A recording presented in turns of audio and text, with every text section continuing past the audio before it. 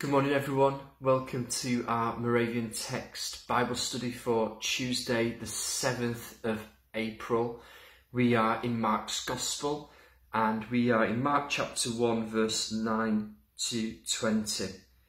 The um, passage starts with the baptism of Jesus, and at that point of his baptism, heaven opens, the Spirit descends on Jesus like a dove, and the voice of the Father speaks over the Son You are my Son, whom I love.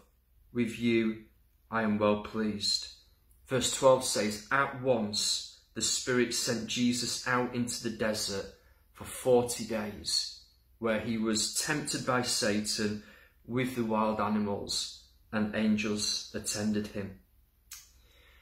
I've often said that um, we see in this passage a really clear pattern for a healthy Christian life. It starts with covenant first, identity first, and kingdom activity. All that we do has to flow out of right identity.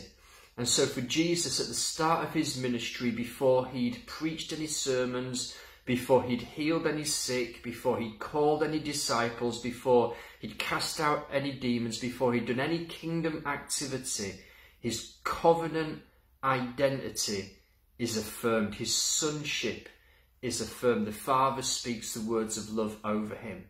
Here we are in an enforced period of isolation, of wilderness.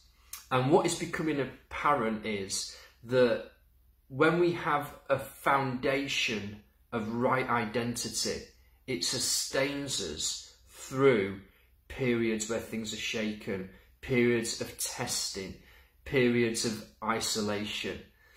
Uh, and so I'd really encourage you to do all you can in this season to invest in understanding who you are in Christ, in knowing the the affirmation of the Father speak over you I love you, you're my child, I'm pleased with you, rest in me.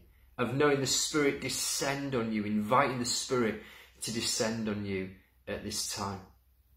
Jesus then in verse 14 goes into his ministry in the power of the Spirit. He proclaims the good news of the kingdom, and verse 15 is a key verse for us as a church. It says, The time has come, the kingdom of God is near.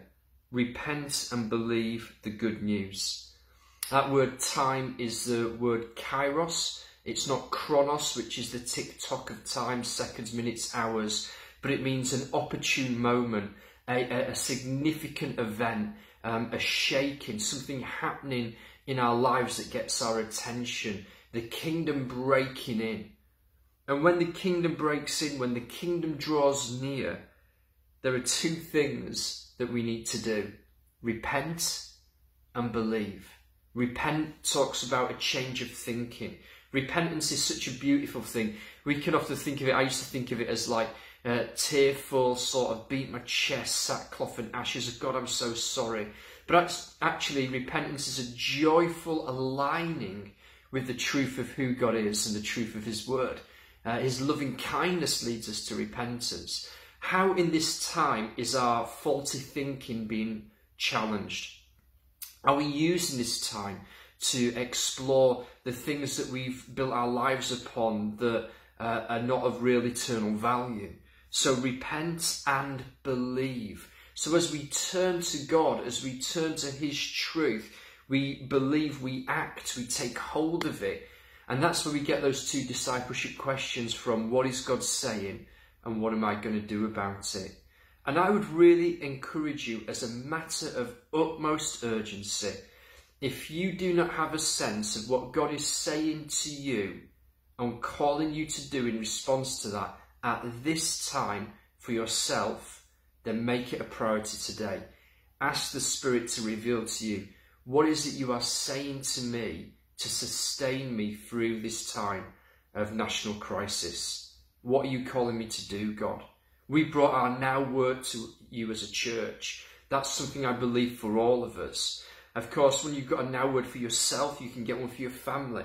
You can get one for your community. It sort of builds like that.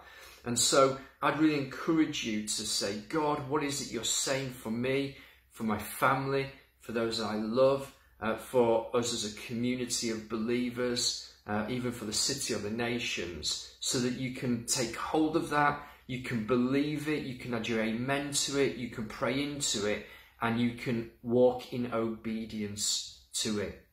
The final thing, because I'm just going to go up to six minutes, um, I can't resist. On three occasions, we see the urgency of Mark in his writing. Verse 12, at once.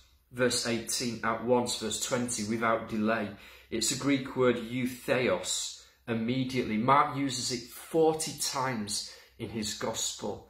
There is an urgency in Mark's writing. And I think there's an urgency in our lives, not to necessarily do more stuff, but to put priorities and things in place that will sustain us in this time.